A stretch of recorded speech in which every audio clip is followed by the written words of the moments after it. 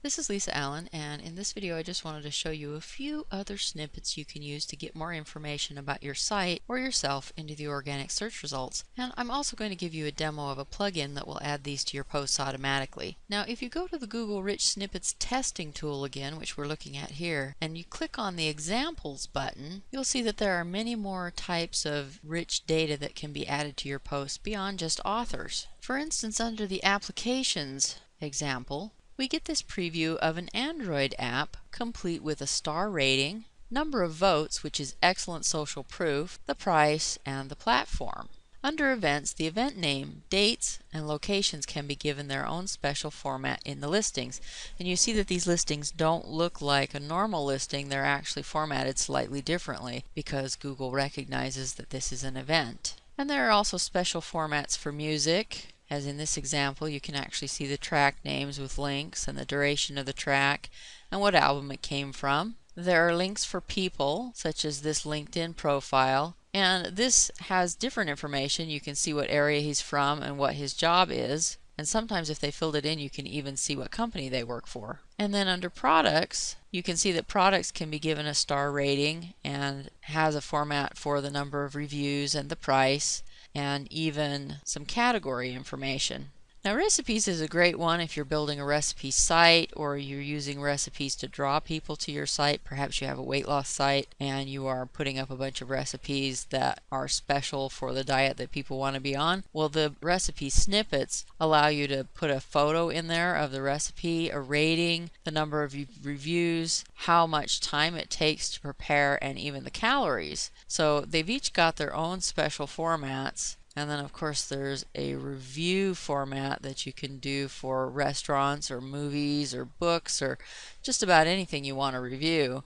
And again, you get the star rating that shows up in the listings and the percentage, how many votes, price range. And there are even some other ones that are not in this example tool yet. But the plugin that I wanted to show you is one that's coming out on the 18th. It's by Aravind and Jed Valentin, and Jed is a really awesome programmer. Uh, he's worked with Harlan Kilstein quite a bit, and uh, he's just an all-around great guy. I've had the opportunity to chat with him quite a bit on uh, some of the Facebook groups that we're in. So let me just switch over and show you the plugin that they're putting out. I think you're going to like it. So the plugin is called WP Snippets Magic, and that's just basically what it does is it puts in all the markup that is needed to make these particular types of rich markup work so that Google will put that information into the SERPs. And of course, as we know, the benefit of that is that you get more clicks. So just to show you how it works, let's add a new post. So I'm just going to start with my title. I'm just going to make this a fictional movie review post. And then if you scroll down, you can see that we've got all these options under WP Snippets Magic and you can choose which kind of snippets you want on there.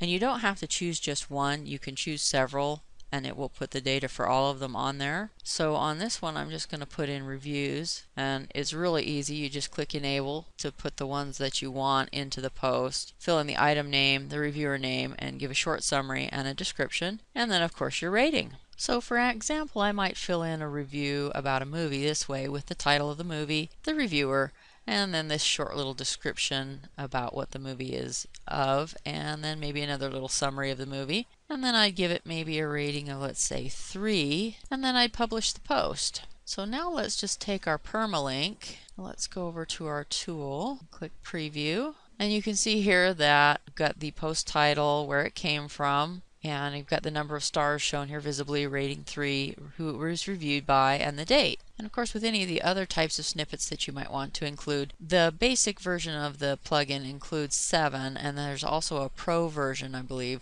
that it includes 7 more so it will have all 14 types that are possible right now included. And so let's just look at what's in, under people. You get the person name, their nickname, opportunity to add a photo. Now I don't think the photo actually shows up in the snippet tool yet, but it is in the specification, so in the future Google might decide to use that. And you can have the city, the region.